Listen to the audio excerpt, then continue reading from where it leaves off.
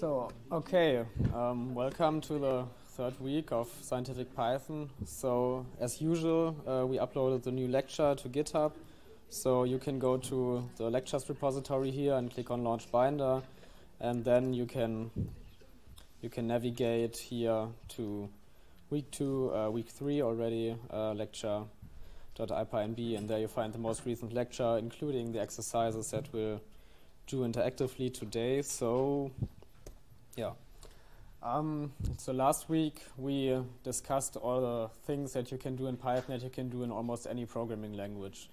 This week we will talk about the things that make Python special compared to other programming language. So um, this should give you a deeper understanding of how the Python language works internally and how different libraries use the special language features to make the code very uh, nice to read and use. Okay, so let's get started. Um, the first topic today is something called the Python data model, which is something very general and it um, is about how you make objects behave in a way that they nicely integrate with the rest of the language or how objects behave in general. So let's consider the simple expression 3 plus 3.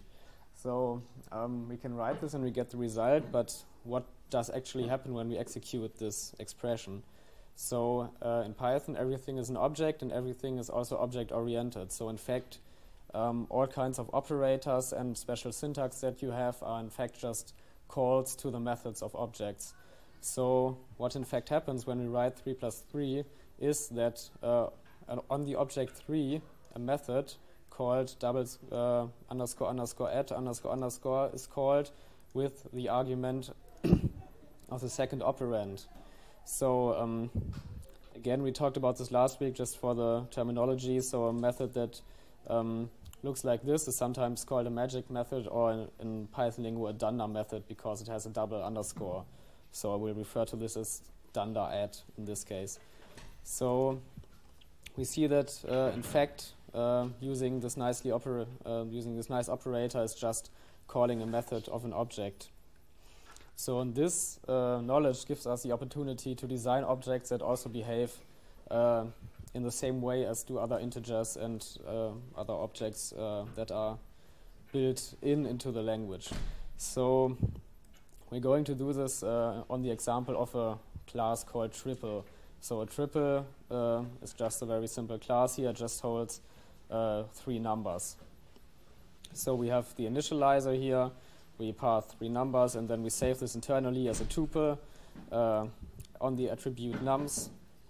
So we can do this, and then we can instantiate the class, and we see, okay, we do not really get a very nice um, representation of our object, something like under dunder main at some crude memory address. So first thing that we want to do is make our object look nice. So for that, there's a dunder method called repr, which uh, shorthand for representation. So what we can do when we uh, when we implement repr on an, a class, uh, we return a string from that, and then this uh, string will be used as a representation for the object. So in this case, we say something like triple, and then uh, we use the three numbers that we have here and concatenate them and convert them to strings. And now when we instantiate our new class, we get a very nice string representation. We get the exact same representation that we defined here in the dunder repr method. So if we write any other string here, we will see this reflected in uh, the representation of our class. Um, so that's always a good start. And in general, when you design reprs, it's good practice to just um, use a string that is the same that you would use to instantiate that object. So in this case, we use this statement to instantiate the object, and this is also the, the representation that we get. Just as simple as that. So next up, we want to make, um, yeah? So representation is always executed when we instantiate an object of this class? No represent. So the repr is always executed when you look at the object, so to say. So in this case, we use um, so we assign, so if we would have assigned this to um, a variable, we don't see the object, but as soon as we look at the object, this method is implicitly executed and we get the return value of this. And the same also happens if we want to print objects, so which is also kind of looking at objects. we get the same. Um, there's also a separate method called dunder str for string. So in case you define this as well, you would get a different string representation when you convert to string or you print than when you look at objects at runtime. So, but in general, it's also okay to just implement repr and then have this both for the string and the, so to say, representation. Representation. okay. Cool. Okay. So next up, we want to make our triples addable. So we want to say something like um, uh, triple A plus triple B, and a sensible way to define addition on triples could be that we just add up all the numbers element-wise. So we already saw that when we use the plus operator between two objects, in fact, just the method dunder add is called. So the way we uh, now can make this behavior happen is that we define dunder add on our class, and then we have two arguments, self, as every method has, and other. And other will be the other operand that you get from the right-hand side of the operation. So now we just assume implicitly that the other object also has is a triple, and then we can make the assumption that we can make a new first number by adding up uh, our own number at position 0 and the other number at position 0, and the same for the other three numbers. And then we just return a new triple that is uh, instantiated with um, the new numbers that we added up here. So then we make two new triples, call them A and B, and then we can say A plus B. And this works out as expected. So um, 1 plus 2 is 3, 2 plus 3 is 5, and 3 plus 4 is 7. So this is a new triple that we get. And just to make this more explicit again, so now when we call or when we write this expression, what is more or less happening in fact is just this. So on the on the first operand, we call the method dunder add uh, with the second operand as an argument. And again, this could be interpreted as just like calling the method dunder add on our class that we defined it at with these uh, two um, instances as um, arguments. So and this happens because like when we instantiate or when we have an instance, all the methods are implicitly bound to that instance. So we um, this will always uh, translate to this passing, so to say, the object at which we call the method as a first argument. So what would also be nice if we could just add also a scalar value to our triple, just like adding this to all the three numbers in the triple. However, we can't because um, this is interpreted as kind of int and then dunder add one and the other triple and an int has no idea about triples, so it doesn't know how to add them. So we just get a type error that says, okay, we can't add any ints and triples. So this is bad because when you write this expression, um, it will always be the int object that uh, gets to call the dunder add method, and we have no way to override this. However, Python um, has a special uh, method or like a special way to deal with this as well. So when we look at the return type of like writing this explicitly as a method call and not as an expression, um, we see that we don't get a type error, but instead it returns not implemented. So when we call uh, dunder add on the int um, with a int and a triple object, we get not implemented. So not implemented is a special uh, value, uh, kind of a singleton maybe. So, it, and this is used to represent the fact that addition is not implemented between ints and triples. However, this gives the gives us the opportunity to hook in there and say, okay, if uh, addition is not implemented between ints and triples, maybe we can implement it between triples and ints. And for that, we have a special method called uh, radd, which stands for reverse add. So what will happen when this, um, when we write this expression, and then this code is implicitly called and not implemented is returned, Python will invert the operators and try to call radd on the uh, second on the second operand.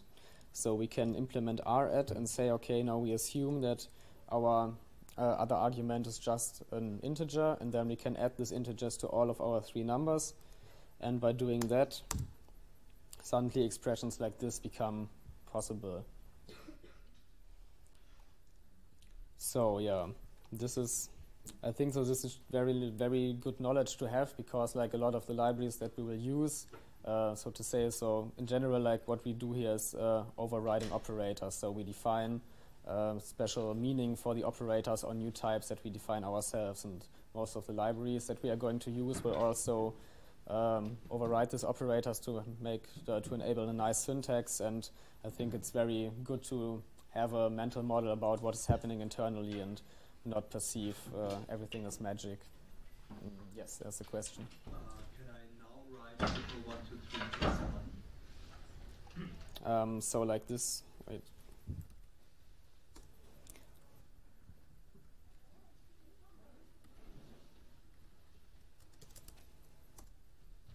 So um, the fact is, right now you can't, because what happens is that this will just call dunder add.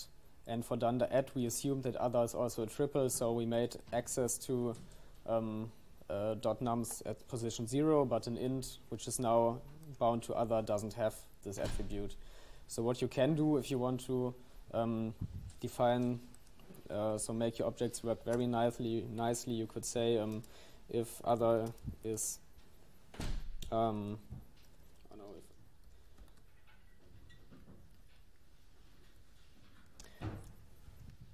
so you could expli explicitly check um, if the other thing is an uh, instance of int, and if it is, you could uh, we could try to just return in this case maybe. Um,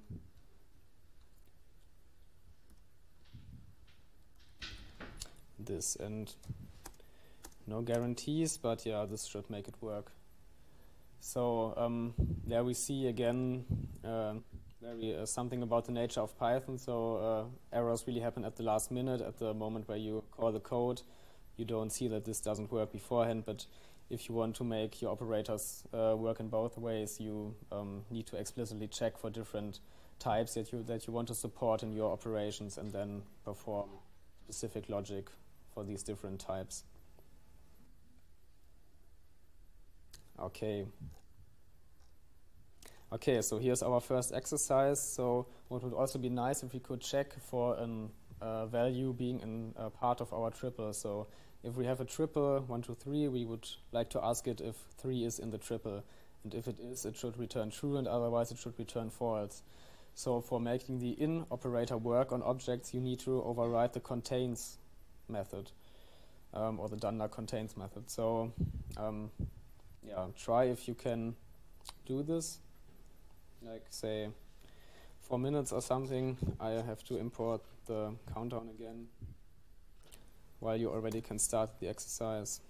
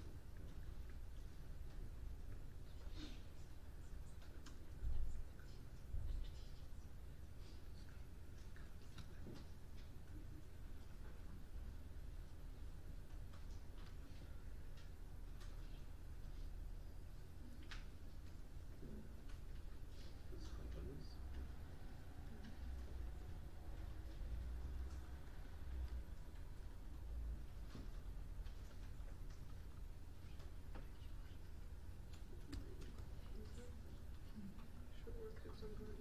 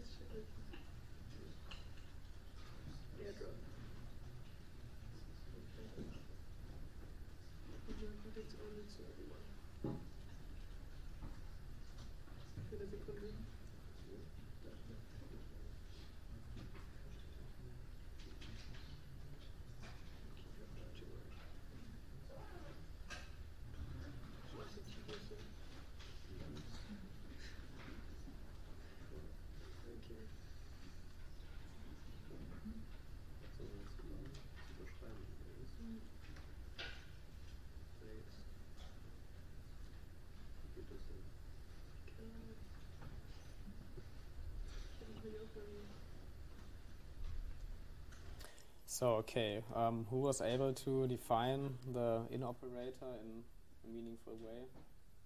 Okay, what was the strategy that you used? Anyone wants to share their approach? no, okay. Um, yeah, so the idea is that you override contains, it takes another um, argument, which is item, and then you delegate uh, the contains operator to the internal attribute, so to the internal tuple that we have here. So we have a tuple of, of all the numbers that we have in our triple, and asking whether an item is in the triple is just the same as asking whether the item is in the tuple of numbers that it holds itself. So we can simply delegate this operator to like the tuple here, and then afterwards our um, the in operator works also on our triple objects. So this is only like a small a subset of the operators that you or the general um, magic methods that you can override. There are a lot more. You can read about this in the documentation if you are interested. We'll also cover a bunch more in the lecture now. So very important uh, part of the Python language is iteration. So a lot of things in Python you do just by iteration, and um, for iteration you need things that are iterable. And an iterable is something that you can use in an in a for loop, so in a for um, element in object construct.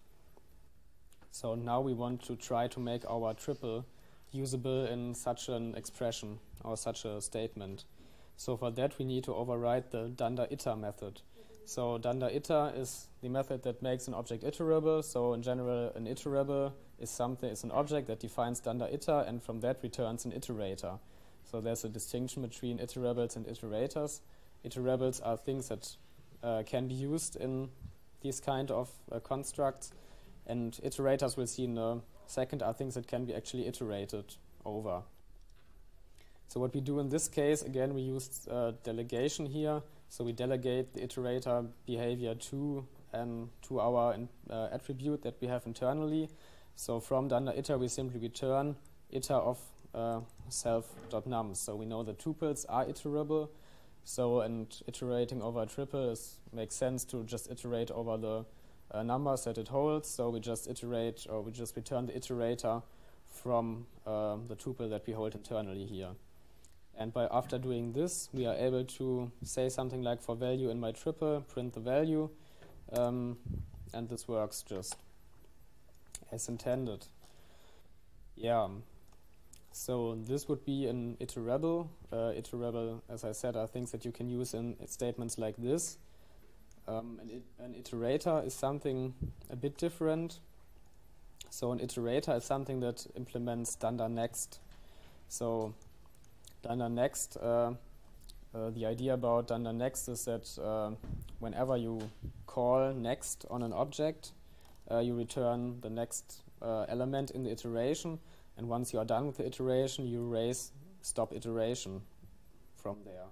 So you raise you raise kind of an exception, but uh, the Python language handles this exception and expects, in fact, this exception to be raised uh, when the iteration is finished. So in Python, you usually or you often use exceptions also for defining behavior of your program, not just for um, yeah, not just for error handling, which is often the case in other languages. However, iterators you usually make them iterable itself. So, and this is very simply done by just implementing dunder iter and by returning self from it.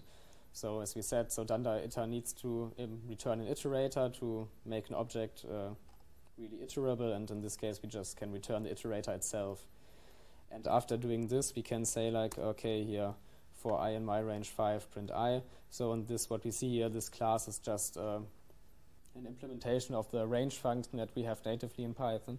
So what we do here when we init um, the function, we save internally an, an attribute i, which we set to 0, and then an attribute n that we pass via the initializer. And then in our next method, we say, okay, um, if i is still below n, we increment i by 1, and then we, we then we return i. And if we are done, so if we've reached the end of our iteration, we simply raise the stop iteration exception. So and afterwards, we can use this iterator as um, yeah, we can use this iterator as an iterable, but what we can also do is we can save uh, this iterator to a to a variable, and then we can call next on this variable and calling so using the function next on an object uh, internally ask for the function dunder next and then it will return the it, it will return the value from this. So what this uh, does is again nothing really different from doing this um, however in Python it's a very common uh, scheme to have these dunder methods and then they are either called by, by operators or they are called by functions that are globally defined in the language and this which kind of can be seen as operators as well. So now what actually happens when we call next, we just get the next value from the iteration that we returned here. And when we call it another time, because we implemented the behavior this way, we get the next value. And then the next and the next, and at some point we raise the stop iteration exception. So and this is also what happens internally when you do a for loop. Um, the iterator is obtained from the iterable here, and then Python will internally call um, next on the on the iterator object and bind this to the loop variable here until stop iteration is raised. So, does this make sense? Good, because it's also very like core feature of the language, and when you understand for loops, you really understand a lot about Python. So, just a word here. Um, really, uh, Python really relies on this uh, iterable and iterator protocol. So, a lot of basically everything that is a collection also implements the iterator protocol, and if you have it available, you should also use it. So, what you usually should not do is write code like this, where you uh, iterate over a range of len of something, and then you index into this array, but instead you can directly iterate over the collection. So, and this is much less code, and this is considered uh, considered Pythonic compared to something like this, which is more what you would uh, what nowadays you won't even do in Java because Java adapted this iterator protocol as well. Yes. Um, wasn't, didn't you say in the last lecture or something that if you iterate over something, it can get exhausted, like of an iterable? Only if you deep copy it won't. So could Um, so I'm not sure if this has really something to do with this. So I mean, like if you iterate over something, it can it will be kind of exhausted at some point, right? I mean, you call next until you stop iteration is raised, and then so to say the iterator is used up. Um, if you use, I mean, like yeah, what you could do is you could um, iter you could call next a few times, and then you could deep copy the object to another object, and then you could continue to call next on the object, and still you would have a copy that is at the state where you copied it. So this is possible, but usually this deep copy thing has more to do with like when you have collections and they have internally other collections and then you change some value in a connection uh, in a collection where you assign to, and then you some suddenly like values change in other collections that you did not directly change, but implicitly also change because the uh, objects still point to the same memory locations. And this is something that you can avoid with deep copy if you uh, have problems with that. okay, so next topic is properties. So you might know from your Java lectures that in Java you usually are asked to implement getters and setters for every attribute that you define on your object. So usually to make everything private and then you have getter and setters for everything. So in Python you really there's no need for this uh, for once because uh, there are no real private members so in theory everybody can access everything. However, there's also a nice mechanism to implement getters and setters in a more, uh, yeah, in a less verbose and uh, also nicer way. So what you can do, and so on, this is what properties are for. So until now we had the, the nums uh, attribute as, so to say, a public attribute because we did not put an underscore in front of it. So now we make it private and we put an underscore in front of it. So now um, no one can really directly access it. So maybe let's um, okay, I will execute this once and then um, show you again the behavior of the underscore uh, thing. So if we do a and dot and then we look at the attributes, we see only nums. Okay, that's not very what I intended here. So let's not do this for now. Let's instead do this. And then when we do uh, tab here, we don't see anything because the only thing that really the underscore does is that it hides um, attributes from code completion. So what we can still do if we can put an underscore and then we look at all the stuff and then you see a lot of stuff that is uh, hidden beneath uh, yeah, the object, so to say. You also see all the magic methods here. And we also see nums and we can access this uh, just as we did before. However, really, as I said, so in Python there are no real private um, attributes. It's really all about like communicating your intent, how you would you like your objects to be used and you trust your fellow programmers that they are able to heed this advice and uh, also not heed this advice if they see some benefit in not doing it. So however, if you want to by default, so in your public interface, uh, implement some getter and setter logic, you would use properties and you would use this uh, syntax here, you put an add and then a property behind it and you uh, put it over your function, uh, which is called, uh, you would decorate your function with this property. And we will later talk about decorators in more depth, what is, what is actually happening here. But for now, let's just, let's, let's, let's just accept this thing and uh, accept that this is now a property. And then we define a method here that we call uh, the name of the public attribute that we would like to emulate and from there we can just return um, whatever we would like to return. So and then what the user of the public interface can do is on the object just call nums and what will happen internally is that this function will be called and this return value will be substituted with um, whatever you do here. So you do not directly access an attribute, you just call a function and get the return value, but as a user you have no idea about that this is happening. And this is very nice because you can always first start uh, designing your classes with uh, all public attributes. And when you find any reason to actually implement some getter logic, you can just add a property and um, put some special logic in there, and your interface of your classes won't change by that. And you really, there's no there's no need to upfront define like all uh, getters and setter method, which do, not, do nothing else and just return the values and set the values, which we often see in Java code. Okay, so when we define something as a property, what it internally does, it uh, makes the attribute read-only because uh, you cannot really assign to a function call and it will say, okay, I can set the attribute mm, because, yeah, we just defined a way to read uh, the attribute, we just defined a getter but not a setter. However, there's also a way to define a setter. So once you defined your property, uh, so your getter, you can use this property then and use dot .setter on it and use a decorator with this. And then you can also define a function to set the value again. So in this case, what we would like to do is we get a value here, and then we would say, okay, if the value has the len of 3, then we would set our internal attribute with it, and otherwise we would raise a value error. Um, so in this way, we implemented some validation logic for setting our attributes.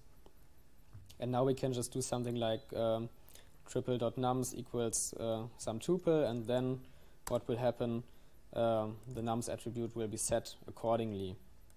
However, what this guards us against is um, doing something like um, yeah, just setting it with a single value. It will say, okay, well, it will actually, because we we're not so careful in our implementation, uh, it will raise a type error, but um, in general, if we would like only set it, try to set it with a tuple with four, uh, with two entries, we would get this value error and say, okay, but we need three values to uh, set our attribute. So and by this we implemented getter and setter logic without having the user actually know about it and having to remember any getter and setter methods and we can just use the normal syntax that we would use in general to uh, define uh, or just to get and set attributes just by assigning values to it. Okay, then another um, important pattern that you will also need in your homework is the factory method. So um, often what you want to do is when you instantiate objects, you have some complex logic um, and you try to encapsulate this instantiation logic into something called a factory. So a factory would be an object that has no other purpose than just creating other objects from really again other objects. And this is like part of the classic object-oriented design philosophy to have stuff like this. However, in Python, what you can simply do is define the so to say factory method. So this means that if we want to have a like separate way to instantiate our class, so in this case, we could instantiate our class with th three different values, but we could also just instantiate it from a single value and then set all the values to the same value. And this way, you can define alternative um, initializers, so to say and you would use the class class method decorator for this. And the class method method decorator turns um, a method into a class class method, which means that instead of self being passed as the first argument, which would refer to the instant, the class itself is passed as the first argument to that function. So in this case, we take the class and um, a single number, and then we instantiate the class with three identical copies of that number. So this gives us the opportunity to now say, okay, triple from value uh, 3, and then we get a triple with all the values being 3. And yeah, this is a pattern that you can use if you want to have uh, separate um, ways to instantiate your class, but it's also good practice to not have too complex initialization logic in the init method.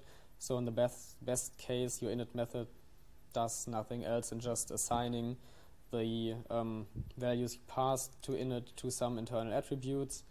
And if you want to have like some transformation logic in there or some uh, complex validation, you should use like a factory method like this, and um, then the user will know that it's like there's maybe some logic behind it. And yeah, that's that's that. Okay, so then the next topic is uh, generators. So generators is like really a very complex uh, topic that we could go really deep into. We don't um, we'll go too deeply into it, but uh, cover just cover the basics. So uh, generators uh, again relate to the topic of iteration. Um, so you can understand maybe a generator from two different sides. A generator is usually also an iterator, so it supports calling next on it, but it has an so to say, built-in mechanism for making the iteration um, very nice and also memory efficient.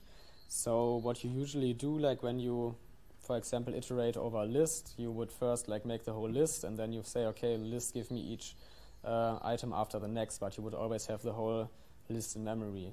So now, if you would do not want to have this, you can use a generator.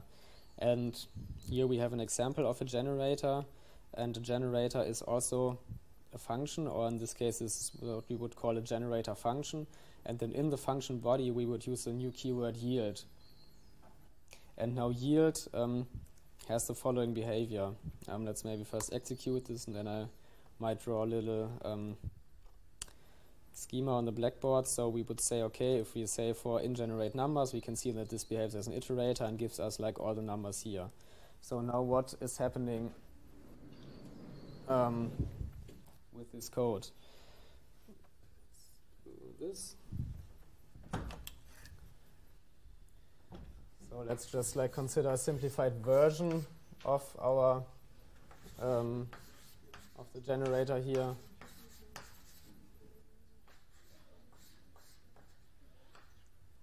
So we would have yield here for the first time, and then we would yield here for the second time. Um, yeah. So now when we, and now let's um, assign the result of this function call to a variable. So we now call the function gennums and save it in a variable called gen. And now let's call next on this object that we instantiated here. Um, so again, just for terminology, this would be the generator function. When we call the generator function, it, yield, it, uh, it gives us or returns a generator object. This is this here. And the generator is also an iterator, so we can call next on it. So now when we call next for the first time, what happens here, so to say, in this code is um, the code is executed from top to bottom until it hits the first yield value. So it will say, okay, here uh, I now yield, I now need to yield something, and uh, after the yield, it discovers there's a value of two. So, um, uh, so to say, this returns the value two. So now, what also, what also happens that uh, the execution of the program is, so to say, stuck at this point until we call next on the generator again. So it will uh, basically sit in memory and stay at this uh, execution point. And now when we call um, next on the generator again, it will continue from the point where we last left it off. And it will go again and uh, look until it finds the next yield statement, and then it will um, yield the next value, and it will, in theory, would also sit here in memory until uh, we would call it again. However, when we would call it again, it would find that it already is at the bottom of the um, of the function body or of the generator body. So I think it would raise stop iteration, but uh, in this case it would again result in the value 4 being yielded from the generator. Um, but the cool thing is that you can really use this to make very memory efficient iterators because uh, really at each point we just stay here in memory and we don't uh, keep much internal state or we don't uh, yeah I mean like we keep the internal state of the generator but we don't keep uh, we don't have to keep the objects that we are generating or, or that we are iterating over in memory so this is very useful like if you iterate over large data sets or so, you can just load one part of the data set at a time into memory, then yield it from the generator, and when you need the next, you just uh, take the next one again. So, yeah, this is also what I just uh, demonstrated here again. So when you, we when we assign the result of this generator function to an object, and then we can print it, we see okay, this is a generator object and then we can call next on it, and then we can, um, it will yield the first value, and then we can still use it in a for loop and yield all the other values, and then when we call next again, uh, it will throw a stop iteration exception, which says that it, okay, it is already at the bottom of the generator body and it can't do anything anymore.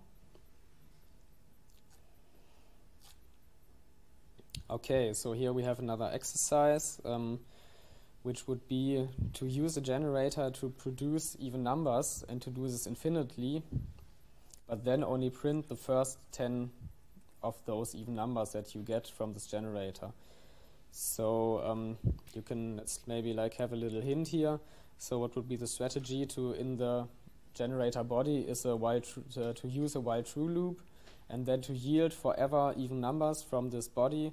And then um, you can wrap this uh, generator in an enumerate, and then you can uh, also keep track of uh, how many values you already got from the generator, and then you can just say, okay, if I already got this many numbers, I just break the for loop. Um, so, do people know what they have to do? If not, then say something. And yeah, I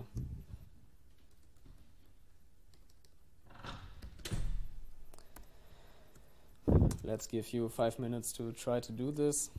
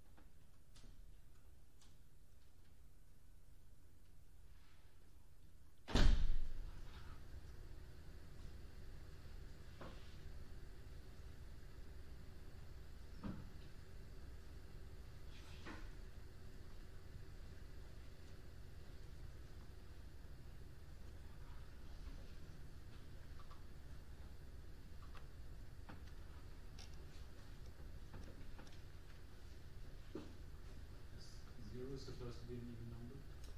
Um, yeah, so I mean, like for this uh, exercise, it doesn't matter so much, but I'd say yes.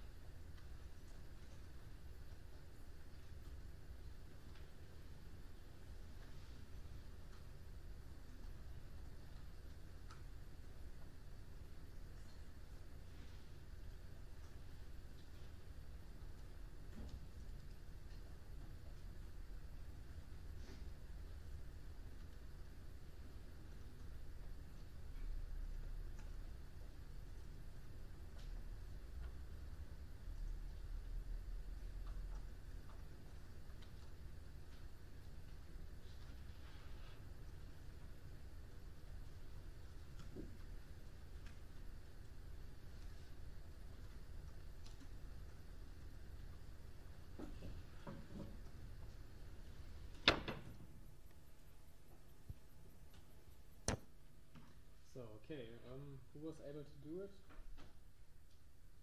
Okay, not so many people. This is also not quite straightforward if you just uh, saw the concept of generators for the first time. So the solution would be something like this. We would have a generator function, in this case we call it even numbers, and we have an internal state. We use i here, and then we say, okay, while true, let's check if our number is even, and if it is, we yield it from the generator. And afterwards, we, incre uh, we increment the number by 1. And now, because this is while true, this would just like, uh, if we use this in a for loop, this would start to execute, uh, would find the first number that is even yielded, then go to the next, uh, it's not even incremented, and then go to the next, and do this forever, basically in this while loop here.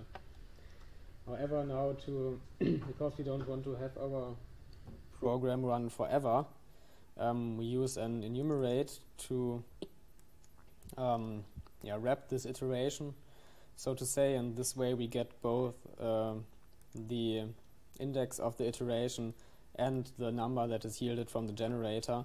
And then we can just print the number and say, okay, but if i is now bigger or equal to 10, then we break the iteration. So we stop the iteration here. Yes? Um, so while um, actually does nothing really special. So a while loop uh, is something that takes an expression here, and if the, as long as the expression is true, it will uh, do the block below it in a loop. Does this make sense?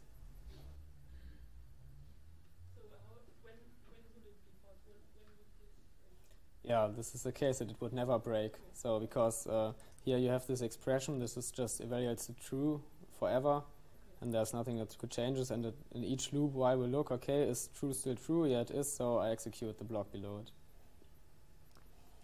Yes. So we can basically access the um, i from the upper function in our for loop to break it.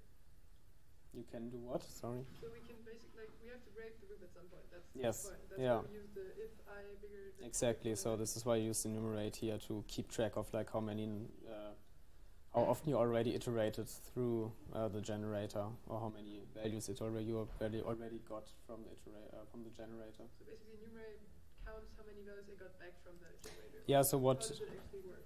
um, what enumerate does is um, let's maybe okay let's maybe use um, so this is just uh, so to say an iterator so it yields any kinds of values. Could also be something different. Could just be a list um, of values 5 6 and 7 so to say. And then we would say like for num in 5 6 7 we would we would get 5 6 7 but we don't know the index of um, the iteration that we have. So we can use enumerate to um, get both basically. Okay, let's maybe print something in between or afterwards so we get the separation here. Mhm. Okay, yeah, so this would basically um, put together the item that we got from the iterator and the index of the iteration. So we get 0, 5, 1, 6, and 2, 7. And it doesn't matter what like um, variables we use. The first var- variable is always for the index, and the second va- variable is always for the. Yeah, exactly. So basically, enumerate will, so internally it will create uh, another iterator that will iterate two, uh, that will produce tuples, and then by using this syntax, you can uh, unpack the tuple onto these two um, variables here. So you could also have something like uh, like this, and then you would say, okay, um, yeah, let's maybe do this and then you would see that you get just internally you just get a single object from enumerate but by using the syntax you unpack the tuple directly onto the two variables here okay. Yeah, thank you. okay yes Um, do I understand correctly that yield basically returns the value? yes Yes, okay, because for me it doesn't want to me um, return the function object. And but, but, but, but I use okay uh, my, my implementation of this one. Okay. Yeah, so um, I mean, like yield returns a value, but if you do, if you, so the return value of this, when you call this, will be a generator object. So this is uh, a bit like uh, mangled together, maybe. So when you when you do this, you define a generator function, and when you call the generator function, you get the generator, which is just like this body, so to say, and this will internally go through it and will. Uh, so to say return, but not really. So to say that yield returns is not completely correct because return always implies that uh, the function execution has ended. And this is why also we have a different keyword here for that because the function execution does not end, but the function state is kept in memory. And the next time we uh, again ask the generator for the next value, it will continue at the position it left off. Okay. No more questions? Cool. Then we can get to the next uh, cool language feature of Python, uh, context managers. So context managers are or can be seen as a complement to functions. So one of the Python core developers once uh, termed it like, uh, so when you have functions, you make code reusable that you use in between other code. But sometimes you also have um, stuff around uh, and that you would like to make reusable and just change exchange the part in between. So you can uh, think of a context manager as kind of a sandwich uh, function that you can use to make uh, things reusable that you would like to use around other stuff. So let's maybe first look at how a context manager is used. So a context manager is used with uh, the with statement. So you say with context manager, and then you have again an indented block, and then you are inside the context. And what happens uh, when you call with on the context manager? Um, so context manager implements again two dunder methods, which are enter and exit. And not surprisingly, enter is for entering the context, and exit is for exiting the context. So when you when we have this line here, what happens first is that enter is uh, called on the context manager, and whatever is here in the enter method will be executed. And when once we are outside, uh, once we leave the context again, uh, exit will be uh, executed. So let's see how this works out. We call with printing context, print uh, I'm inside the context. So first thing happens, uh, we say with con printing context, and here enter is called. So here uh, entering context, which uh, we defined in the enter method, is printed. So the next, whatever is inside our block is done. So we print I'm inside the context. And once we leave the context again, which is basically here when we end the cell here, uh, exit is called and print exiting the context is called. So this is just a general setup. Sorry? What does with mean? Um, so with is just like a keyword in Python that you use to define context or that you use to invoke context managers. So normally like uh, you use a lot of context managers in Python where you don't implement enter and exit um, directly, but it's already pre-implemented, and then all you see is basically this. And this means, okay, that I want to use this object as a context manager, and I will uh, rely on the setting up and tearing down the context again. So you could just read it as like, with being in the context, do this and this. If this makes sense. So, and then the prototypic example of using context managers is file I.O. So this is also a good point to look at file.io in Python. Um, and then we'll also see why context managers are so useful. So in this case, we'll just have a string here, a multi-line string, where you say, okay, this is Chris. Uh, this is not Chris today, but um, and yeah, this is just a string, and we write this, uh, and we say, okay, we write this message. So now what we do, we use uh, the open function and we call this on a string, which is a path to a file. And then we use uh, the mode here, which is write in this case. So we want to write to a file, we want to open a file and write to it. And from this we obtain a file handler, so which we abbreviate here as fh. And then on this file handler we can uh, call a write method where we pass a string. And afterwards we should not forget to close our file again. So when we execute this, we will see that here a new file pops up on our file system and we can look at this and we see, okay, aha, here's um, the, the string that we just wrote into this file. However, when you do it this way, you always have uh, the responsibility to remember that you also need to close your file after you opened it. Otherwise, it could happen that like resources are still open, and then when you want to open them again, they will not respond anymore, or that your, the input that you already wrote to the file gets corrupted or whatever. And because of this, um, context managers are so useful.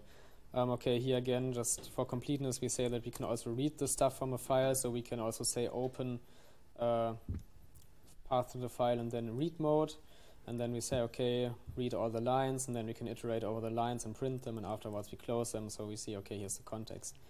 However, this is much better done with context managers. So, and we can use the open function also in a context manager statement here. So we say with open uh, file in mode write, and then we say as file context. So in this case, it um, can also be that the enter method uh, of a context manager does not simply have some side effect, but it also returns a value. And if it returns a value, this return value is afterwards bound to the variable that you have here after the s. So you say with open as file context, so you now have a file handler here, which we now named file context, and we see, okay, enter is called here, and the return value is bound to file context. And then in this context, we can say, okay, file context write, you cannot forget to close me. And then implicitly, the exit method will be called here. And this will make sure that the file is closed. So you, by using the syntax, you can never forget to close your files because uh, you will always at some point exit the context when you don't, when you are finished handling the file. And this is a much safer way to interact with uh, any kinds of resources um, that you might have. So just looking here again.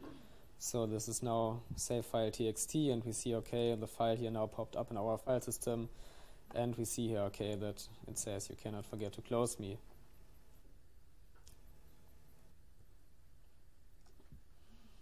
And now just to have another example of uh, how we could use this, so we could also make our own file class that implements the context manager protocol. So we would say, okay, when we initialize the file, we save the file name and the mode. And then on entering, we say, okay, we make a new instance variable called uh, open file, which, where we open the file actually. Then we return the open file, and then when we exit it, we again close the open file. So we can use this in the same way as we use the open function, and we say, okay, file of path and mode as file handler, and then we can, in this case, read from the file uh, as we did before. And we will see, just to demonstrate this, that afterwards um, this shouldn't work anymore because the file is already closed. So when we try to do read lines now afterwards here, what we still did here, we say, okay, IO operation on closed file, even though we did not explicitly close the file. Okay, so that's good uh, to know about. So then last time we already talked a bit about exceptions. So this is like the second part about um, talking about exceptions. Uh, this is so we just have some additional syntax here. So we already talked about the try and the except block.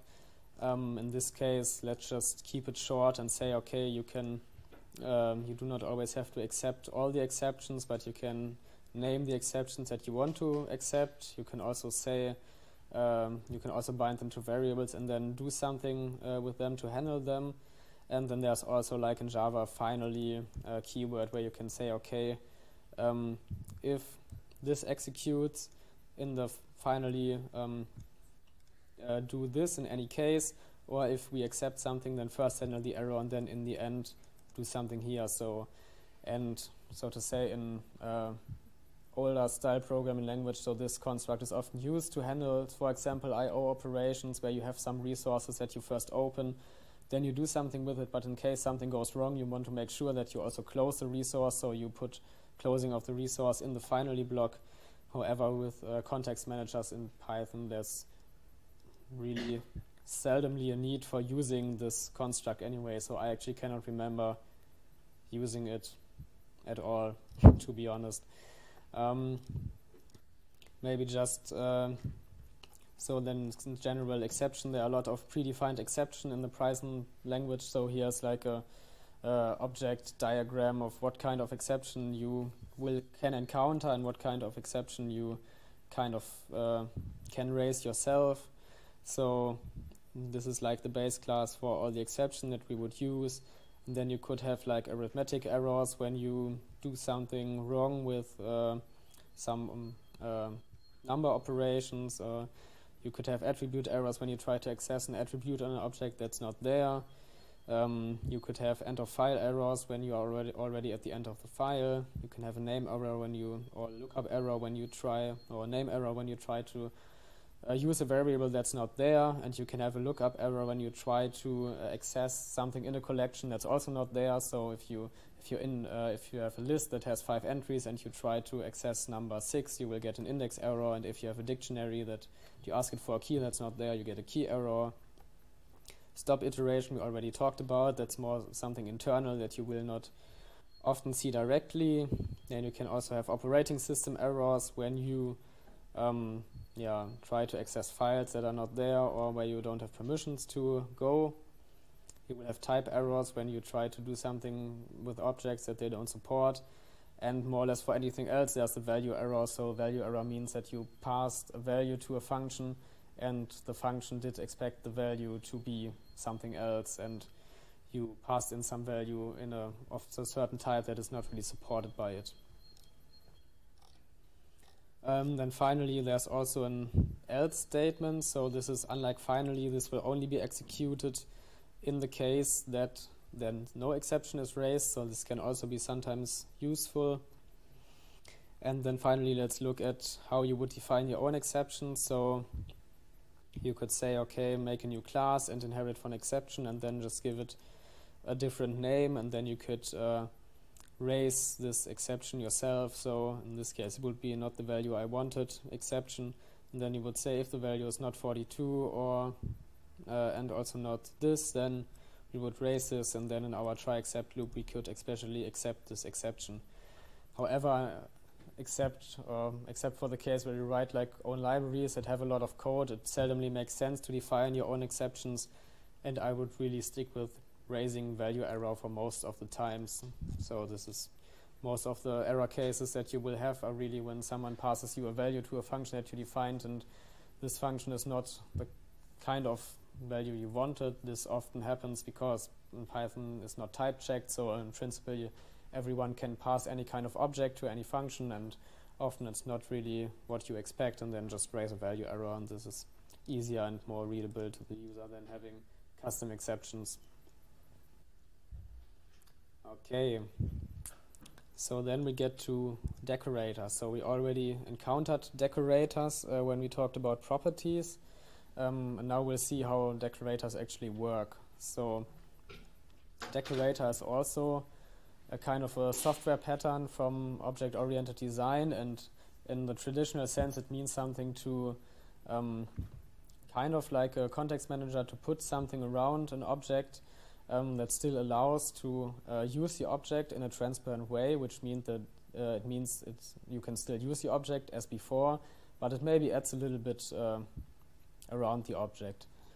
So um, in, uh, in, Python, decorators are defined in a bit more narrow sense, in the way that they are uh, baked into the language itself. So in this case, we would try to uh, have a function, in this case subtract, and then we would like to, around this function, say, okay, first print result of uh, the function name, and then print the result, and then print some uh, strings around it here. So um, in case we would like to have this behavior, so get something like this, say result of subtract, then result, and then some uh, closing stuff here. In general, we would have to define a new function. In this case, we would have a decorated subtract. Uh, we would first compute the result, uh, then we would uh, print this, and then we would print the result, and then we would print this, and in the end, we would also return the result because we want the decorator to be transparent. So, because subtract returned something before, we should still return what it returned before and not really um, have it return nothing anymore because that would not be what you would call transparent decoration. Um, however, the problem with this is that um, this logic is actually decoupled from the subtract function, and there could be other functions that we would like to decorate in this way, and now we would have to define and um, define a new function and copy and paste this code each time. So instead, what you would like to do is say, okay, just have a general function that is called decorated, and that takes actually the function as a first argument. And then we can do something like this, where we say decorated of function and then the arguments to the function, and then we pass internally the arguments to the function and print the result and return the result again. Um, however, what this um, this always leads to like having call having us call decorated directly, and we cannot really um, change uh, the way that add or subtract behaves behave uh, by themselves. So and this is where now the real decorators come into place. So let's define a function that is called decorator, a print decorator, and the only argument to that function is another function. So and now internally we define a new function that we here just call inner, and then we say, okay, let's get the result, and the result is uh, the function that is passed here, and then the arguments applied uh, passed to this inner function. Then we have again this printing thing here, where we print the result and this uh, closing underline. And now, since we now defined this function internally in the other function, we can return from the print decorator function the inner function that we defined here. And by doing this, we can do something like print decorator of add is now decorated add. And then we can then we can execute the cells above and yeah, and then we can get a new function, it's called decorated add, and then we can use decorated add in the same way that we used the add function before, but now with this printing, uh, so to say, injected around the, uh, the function itself. So this is like what is happening when you use a decorator. Um, yeah, however, now still we have a new um, function. If we want to override add, we can also do this by just assigning add again to print decorator of add. That's also possible. However, what we can also do is use uh, print decorator function as a decorator. So in fact, when you see something like where there's an add and then some name above a function definition, what internally happens is really just this. So this is just, so to say, syntactic sugar for applying decorators to functions. So what will happen first, this function will be defined, um, then the result of this function definition will be passed to the decorator here, and then the original name of the function will be overwritten by the decorated version. Yeah, and you see this often when you have like behavior like this that you could add to many different functions. Um, that is itself reusable, but you like the makers of libraries don't want to commit to uh, or want to make it very flexible, then you use this kind of decorators. Yes. Could you, for example, just like um, give like our decorator a function and then just use the values of the function and do something totally different with the values? Yeah, we could do that. Yeah, you can. So um, I mean, like no one restricts you from totally messing up the function, just returning some completely different function, but um, this would not really correspond to the decorator pattern, and this would be probably also not be very useful. So I mean, like it, it, it depends on the context. So there, I mean, like there are, we will see, like I think in the very last lecture, where you have some uh, optimization of Python code where you just have a decorator, and then internally it compiles the function to uh, use to some C code or so, and really does very uh, strange stuff that you don't want to know about. But in the end, you should always return a function that kind of does what the function before did, because otherwise, also having a decorator is not really reusable. If it like you cannot really apply it to, uh, to functions in general, if it really completely changes the behavior of functions in a uh, way that you cannot control. Yeah, so in this case, let's look at this. So we can just say add print decorator of, for example, multiply, and then when we call multiply, we will always get this stuff around here. Yeah, so now um, uh, what's interesting, you can also chain decorators. So here we have an example of um, using uh, decorators to make things, things bold and italic. So we use some HTML syntax. So for you not familiar with HTML, if you put like uh, these kind of tags around some string, it will make it bold, and if you put this kind of stacks, uh, yeah, tags around some uh, some other element or string, it will make it italic. So in this case, we again internally define a new function, call it wrapped here, and uh, we call the function that we what was passed to the decorator, and then we return the wrapped uh, function that we defined inside of the decorator. And then we can just say italic and bold. And what will happen here? Um, first, this function is defined. Then the function is uh, passed to italic, and uh, so it, we will say like something like um, this will be like.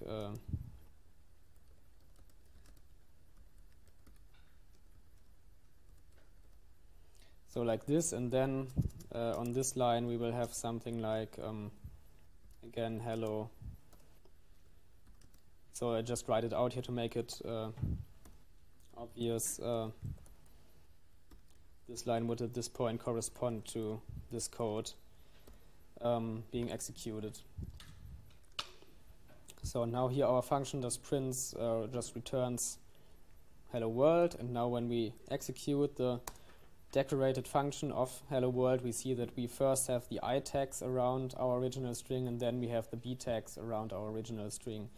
So this kind of chaining of decorators worked as we expected, and we now have uh, something that represents both an italic and a bold string. One drawback of this is that now if we look at the function um, help, so to say, we don't have a docstring anymore, even though we had a docstring here because returned, uh, we return, uh, we replaced the original hello function by this wrapped function, and we did not define docstring on this wrapped function. And it's also like hard to define a generic docstring uh, because you want to decorate all kinds of different functions, and you cannot have one docstring for all kinds of different functions.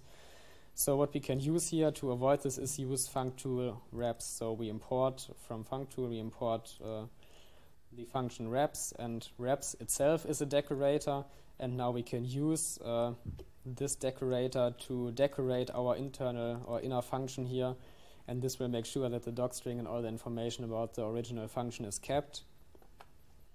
And we will, uh, we can also see here that also decorators um, can take other arguments. So um, in this case, what you can imagine here is that wraps is applied to the function, and wraps of function returns another function, and this is then used to decorate um, the wrap function here. Um, just to make it a little bit prettier, we also have now an HTML decorator here that uh, does, does nothing else than return uh, HTML of the result of this function, and then we can change this, uh, chain this one more step, and we now also get um, the HTML version displayed um, of the string that is now italic and bold. So, and we see also now that if we look at the help for the function, we see that the docstring is uh, still maintained as it was originally. And now we have like full transparency for our original function. We keep all the information and we just add some behavior around this function. Okay, so to finish off the section, we have another small exercise. So the idea is now to define a new decorator and also apply it to this chain of decorators. And in addition to making the text bold and italic, you should also make it red. And as a hint here, to make uh, things red in HTML, you would have to say something like span style equals color colon red in front of uh, the element that you already have and then close off with another uh, closing span argument. Or not argument but yeah tag. So um, yeah let's just try this out and let's try this like in four minutes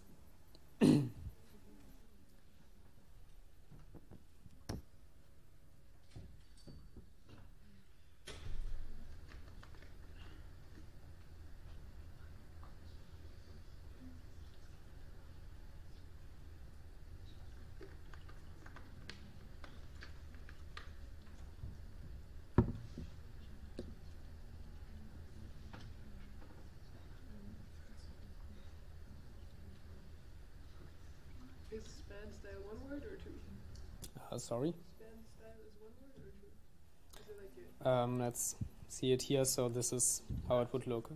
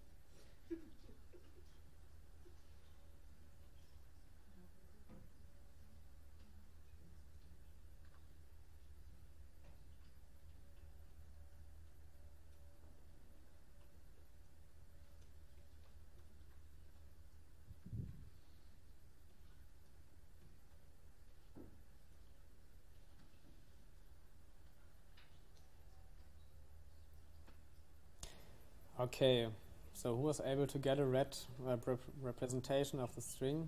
Okay, quite a few people, nice. Um, so let's look at the solution once more. So we would define a new decorator, in this case we call it simply red. Then we use the wraps decorator again to keep uh, the docstring of the function.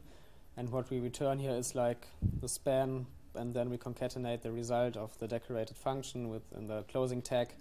And then we can simply add uh, the red decorator to our chain of decorators here, and then we get name error. What?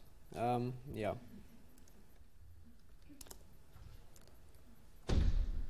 This, can be a problem when you refactor things that you don't rename everything. Um, yeah, so in this case it would be red, and we can also see that we could now simply comment out parts of our decorator chain, and in this case we would only have it italic and red or even only red. Okay, so now we have like 10 minutes left to look at lambda expressions. Um, maybe we do not finish this completely and just continue next time. However, let's start for now. So um, lambda expressions are ways to define anonymous functions. So usually when you define a function, you say something define name of the function, and then you have the argument list and then the body.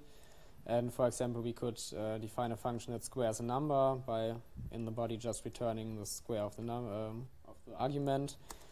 and then you could see, okay, this works. A square of 8 is 64, and the type of square number is a function. So lambda expressions are now an alternative way to define functions. And what you can do is you write uh, lambda and space and then the argument list colon the body of the function.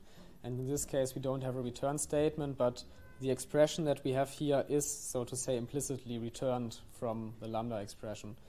So um, by default, if you don't, I mean, like if you just have this, you will get a function, um, but the function is now, because it doesn't have a name, it's not available in your uh, in your program namespace as would be like squared function before. So therefore you need to assign it to some variable and this is the way you now give a name to your lambda functions. And then when we do this, we see that the result of this is exactly the same as we had above here. So we still get uh, uh, that the square of 8 is 64 and that the type of our square number here is function. And lambda expressions are called lambda expressions because, like in a programming language, everything that evaluates to something is an expression. So uh, when we have this here, it, so to say, it returns or evaluates to a function, and therefore we can assign it to a variable. And you can do this with this expression, right? So this is not a statement. You can say a equals def whatever, so this is like a syntax error. yeah, okay, and you can also for lambda expressions, so they are not restricted to single arguments. You can also have more arguments. You can say you can separate the list of arguments with commas, and then you can have a function body that um, includes both the arguments. So we can calculate the sum, for example, and we see, okay, 3, pl uh, 3 plus 2 is 5. So why would you even want to have these lambda expressions? So um, sometimes you have functions that take other functions as arguments, and then you just really want to have a function that you only use once in a single statement, and you don't want to don't want to reuse this function. And by using lambdas, you can first of all you have uh, you can really quickly define functions, and uh, you also emphasize the point that this is now not a reusable function of your program, but this is just like behavior that you needed to, to define at some point and throw away afterwards. So for this, let's look at some list operations and see how we can use lambda expressions there. So um, in general, you can sort lists by using either a sorted function, which would return a new list, or you can use uh, dot sort on a list, and this would, so to say, uh, in place mutate the list and re uh, internally replace the list by a sorted list. So if we start with this unsorted list, and then we get new list via sorted and we sort the unsorted list, both lists will be sorted in the end. So from uh, scanning from 0 to uh, 67. And we can also reverse the sorting and yeah, get it in descending, descending order. And now what can happen is that you have more complex collections. So in this case, we just had a list of numbers, so it's easy to sort because like uh, you can have bigger, uh, you have a relation between numbers, uh, you have an ordering relation between numbers, you can say this number is bigger than this number. However, let's say we have a list of dictionaries. And by default, there's no sensible way to say, okay, this dictionary is now bigger than this dictionary. So in our list of in our list of people here, if we wanted to sort them, we would need to specify some way of uh, sort, um, uh, sorting them in a sensible way. And for this, we can use uh, the key argument of sort, and key expects a function to be passed to it. So, and then this function will be um, will be evaluated on each item of the collection, and this is expected to return some kind of value that has an ordering relation. So, um, for example, we could sort uh, our collection here by the age of people, and for this, we can use a lambda expression here that says, okay, map each item to the age of the item, so to say. And by doing this, we will get a sorted list now, and now all the people are sorted by their age. So we have the youngest person first and the oldest last. It's similar so, and because we do not really, for this, we don't want to define a function get age, where we say, okay, uh, of item return item at age or so. We don't want to do this, so that's not really necessary, so that's a good place to use a lambda here. And similarly, we could also sort um, people by their name instead, because also strings have an ordering relation that's defined by the alphabet, and you can do this and get the first person here. And also other functions take this kind of key argument. So, for example, the max function by default gives you um, the maximum value, but by doing this, you can kind of turn the, the max function into an argmax. So, so to say, say, okay, give me the item of the collection that uh, has a maximum value for this uh, function here. And by this we get um, the, the entry with uh, the highest age. So as a final quick exercise, um, yeah, you have like four minutes are left anyway, so you can try to do the same thing for the min function. So try to find uh, the person that comes first in the alphabet, and yeah, you can use the min function for that, and you can use a lambda to define a proper key that will uh, get you uh, the attribute that is interesting for finding the person with the that comes first in the alphabet given the name. Yeah. So next time we'll talk a bit then about comprehensions, list comprehensions and stuff and strings. So there's actually not so much left. So next time we should also have some time to start with the homework. However, I will try to upload it maybe in the evening today, so you can already have a look at it if you want to. Yeah. Okay.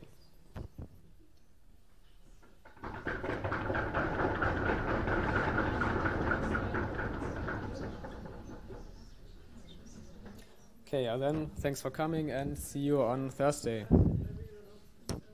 Ah, yeah, and if you have still any problems with the homework, of this week, then now's the time to come to me and uh, ask for help. Sorry?